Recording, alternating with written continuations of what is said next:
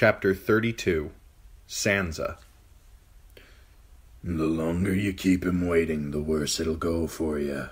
Sandor Clegane warned her. Sansa tried to hurry, but her fingers fumbled at buttons and knots. The hound was always rough tongued, but something in the way he had looked at her filled her with dread.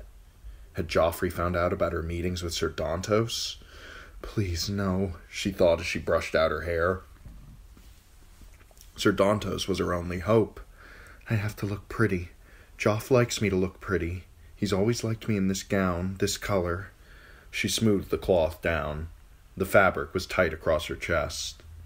When she emerged, Sansa walked on the hound's left, away from the burned side of his face. Tell me what I've done. Not you, your kingly brother. Robb's a traitor. Sansa knew the words by rote. I had no part in whatever he did. Gods be good, don't let it be the Kingslayer. If Robb had harmed Jaime Lannister, it would mean her life.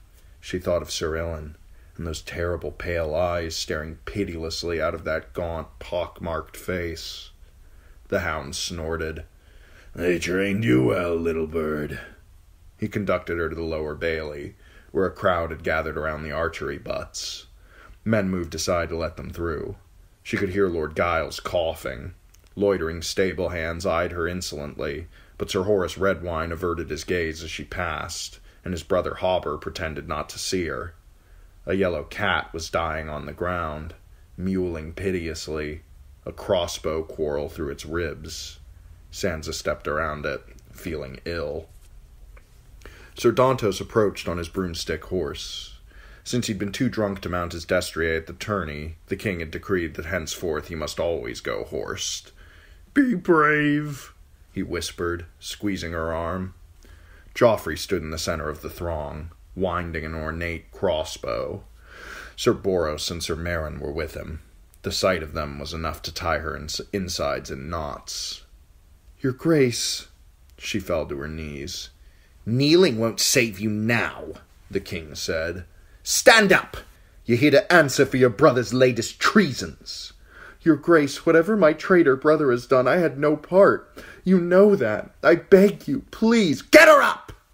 The hound pulled her to her feet, not urgently. Sir Lancel, Joff said, tell her of this outrage. Sansa had always thought Lancel Lannister comely and well spoken, but there was neither pity nor kindness in the look he gave her. Using some vile sorcery, your brother fell upon Sir Stafford Lannister with an army of wargs, not three days' ride from Lannisport. Thousands of good men were butchered as they slept, without the chance to lift sword. After the slaughter, the Northmen feasted on the flesh of the slain.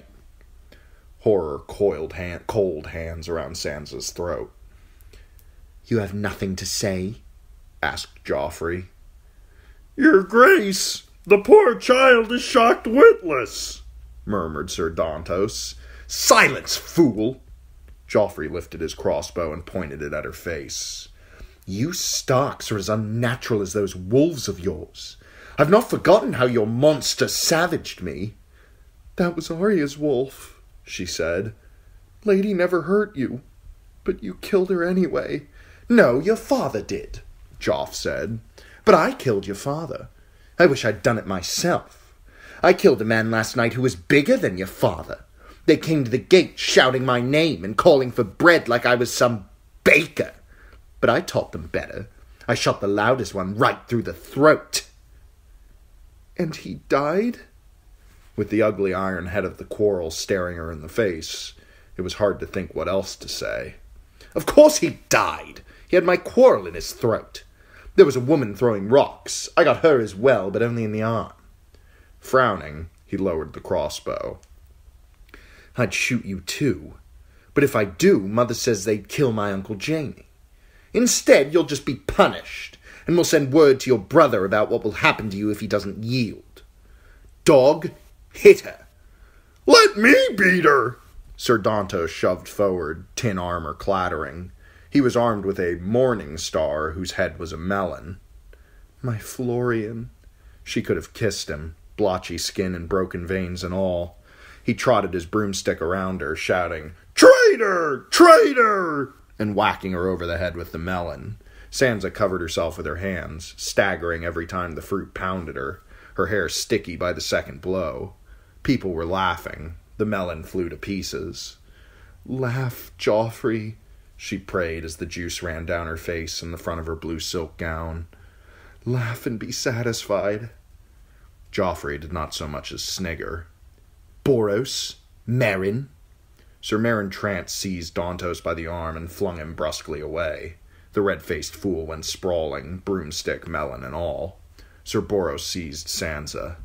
Leave her face, Joffrey commanded. I like her pretty. Boros slammed a fist into Sansa's belly, driving the air out of her. When she doubled over, the knight grabbed her hair and drew his sword, and for one hideous instant she was certain he meant to open her throat. As he laid the flat of the blade against her thighs, she thought her legs might break from the force of the blow. Sansa screamed. Tears welled in her eyes. It will be over soon. She soon lost count of the blows. Enough! she heard the hound rasp. No, it isn't, the king replied. Boros, make her naked. Boros shoved a meaty hand down the front of Sansa's bodice and gave a hard yank. The silk came tearing away, bearing her to the waist.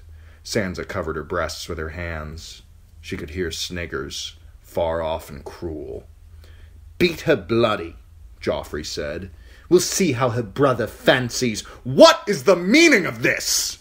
The imp's voice cracked like a whip, and suddenly Sansa was free. She stumbled to her knees, arms crossed over her chest, her breath ragged.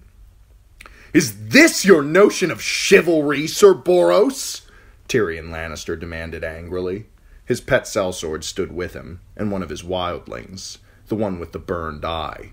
What sort of knight beats helpless maids? The sort who serves his king, imp. Sir Boros raised his sword, and Sir Meryn stepped up beside him, his blade scraping clear of its scabbard. Careful with those, warned the dwarf's sellsword. You don't want to get blood all over those pretty white cloaks. Someone give the girl something to cover herself with, the imp said. Sandor Clegane unfastened his cloak and tossed it at her. Sansa clutched it against her chest, fist bunched, fists bunched hard in the white wool. The coarse weave was scratchy against her skin, but no velvet had ever felt so fine. This girl's to be your queen, the imp told Joffrey. Have you no regard for her honor? I'm punishing her. For what crime? She did not fight her brother's battle. She has the blood of a wolf, and you have the wits of a rock. You can't talk to me that way. The king can do as he likes. Aerys Targaryen did as he liked. Has your mother ever told you what happened to him? Sir Boros Blount harumphed. No man threatens his grace in the presence of the king's guard. Tyrion Lannister raised an eyebrow. I am not threatening the king, sir. I am educating my nephew. Bronn, Timett, the next time Sir Boros opens his mouth, kill him. The dwarf smiled. Now that was a threat, sir. See the difference? Sir Boros turned a dark shade of red. The queen will hear of this. No doubt she will. And why wait? Joffrey, shall we send for your mother? The king flushed. Nothing to say, your grace, his uncle went on. Good. Learn to use your ears more and your mouth less, or your reign will be shorter than I am. Wanton brutality is no way to win your people's love, or your queen's. Fear is better than love, mother says. Joffrey pointed at Sansa. She fears me. The imp sighed. Yes, I see. A pity Stannis and Renly aren't twelve year old girls as well. Bronn, Timett, bring her. Sansa moved as if in a dream. She thought the imp's men would take her back to her bedchamber in Maegor's holdfast, but instead they conducted her to the Tower of the Hand. She had not set foot inside that place since the day her father fell from grace, and it made her feel faint to climb those steps again. Some serving girls took charge of her, mouthing meaningless comforts to stop her shaking. One stripped off the ruins of her gown and small clothes, and another bathed her and washed the sticky juice from her face and her hair. As they scrubbed her down with soap and sluiced warm water over her head, all she could see were the faces from the bailey. Knights are sworn to defend the weak, protect women, and fight for the right. But none of them did a thing. Only Sir Dontos had tried to help, and he was no longer a knight, no more than the imp was, nor the hound. The hound hated knights. I hate them too, Sansa thought. They are no true knights, not one of them. After she was clean, plump, ginger headed Maester Frenken came to see her. He bid her lie face down on the mattress while he spread a salve across the angry red, red welts that covered the backs of her legs. Afterward, he mixed her a draught of dream wine, with some honey so it might go down easier. Sleep a bit, child. When you wake, all this will seem a bad dream.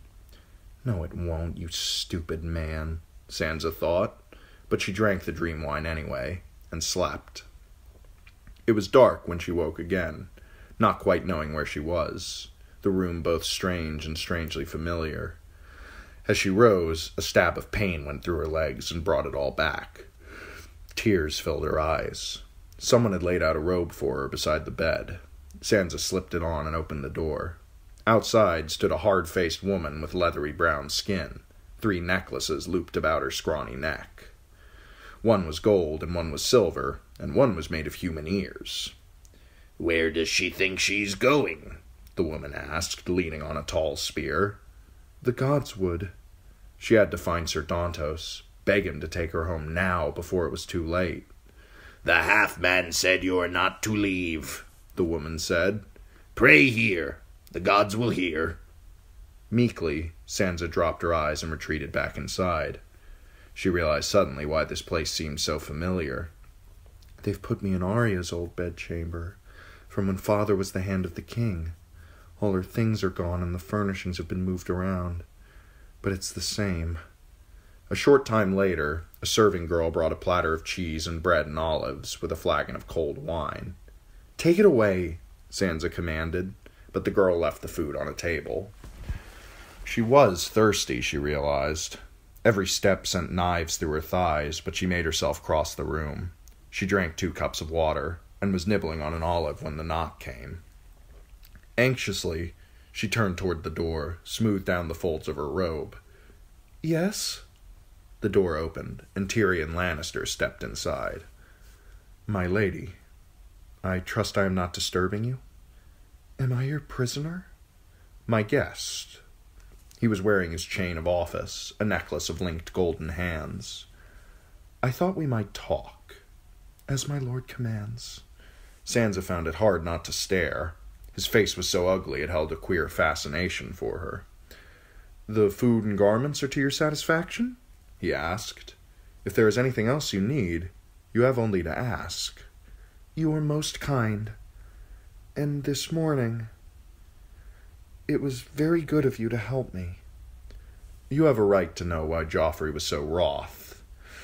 Six nights gone, your brother fell upon my uncle Stafford, encamped with his host at a village called Oxcross, not three days' ride from Casterly Rock.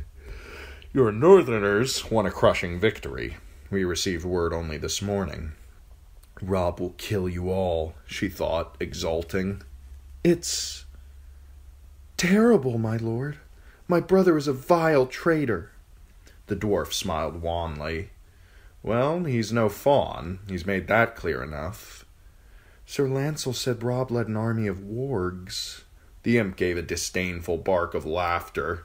Sir Lancel's a wineskin warrior who wouldn't know a warg from a wart. Your brother had his direwolf with him, but I suspect that's as far as it went. The Northmen crept into my uncle's camp and cut his horse lines, and Lord Stark sent his wolf among them. Even war trained destriers went mad. Knights were trampled to death in their pavilions, and the rabble woke in terror and fled casting aside their weapons to run the faster. Sir Stafford was slain as he chased after a horse. Lord Rickard Karstark drove a lance through his chest. Sir Rubert Brax is also dead, along with Sir Lymond Vikary, Lord Crakehall, and Lord Jast. Half a hundred more have been taken captive, including Jast's sons and my nephew Martin Lannister. Those who survived are spreading wild tales and swearing that the old gods of the north march with your brother.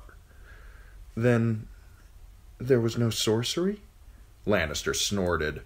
Sorcery is the sauce fools spoon over failure to hide the flavor of their own incompetence. My mutton headed uncle had not even troubled to post sentries, it would seem. His host was raw apprentice boys, miners, field hands, fisher folk, the sweepings of Lannisport. The only mystery is how your brother reached him. Our forces still hold the stronghold at the Golden Tooth, and they swear he did not pass.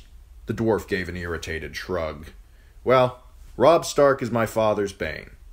Joffrey is mine. Tell me, what do you feel for my kingly nephew? I love him with all my heart, Sansa said at once. Truly. He did not sound convinced. Even now? My love for his grace is greater than it has ever been. The imp laughed aloud. Well, someone has taught you to lie well. You may be grateful for that one day, child. You are a child still, are you not? Or have you flowered? Sansa blushed. It was a rude question, but the shame of being stripped before half the castle made it seem like nothing. No, my lord. That's all to the good. If it gives you any solace, I do not intend that you ever wed Joffrey. No marriage will reconcile Stark and Lannister after all that has happened, I fear. More's the pity. The match was one of King Robert's better notions, if Joffrey hadn't mucked it up. She knew she ought to say something, but the words caught in her throat. You grow very quiet, Tyrion Lannister observed. Is this what you want? An end to your betrothal? I. Sansa did not know what to say. Is it a trick? Will he punish me if I tell the truth? She st- stared at the dwarf's b- brutal, bulging brow, the hard black eye and the shrewd green one, the crooked teeth and wiry beard. I only want to be loyal. Loyal? The dwarf mused, and far from any Lannisters.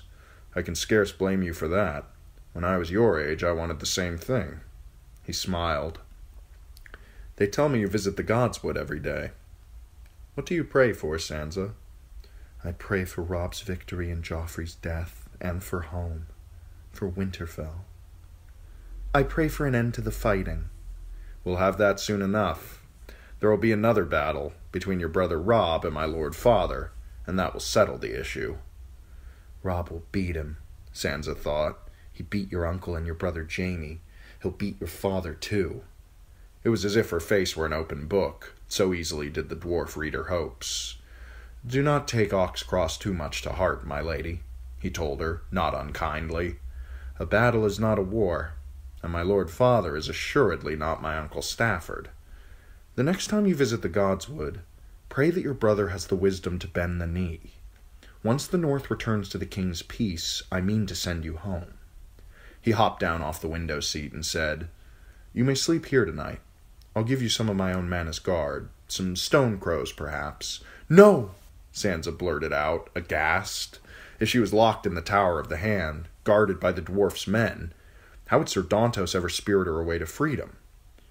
Would you prefer the Black Ears? I'll give you Chella if a woman would make you more at ease. Please, no, my lord. The wildlings frighten me. He grinned. Me as well. But more to the point, they frighten Joffrey and that nest of sly vipers and lick-spittled dogs he calls a Kingsguard. With Chella or Timett by your side, no one would dare offer you harm. I would sooner return to my own bed. A lie came to her suddenly, but it seemed so right that she blurted it out at once. This tower was where my father's men were slain. Their ghosts would give me terrible dreams, and I would see their blood wherever I looked. Tyrion Lannister studied her face. I am no stranger to nightmares, Sansa. Perhaps you are wiser than I knew. Permit me at least to escort you safely back to your own chambers.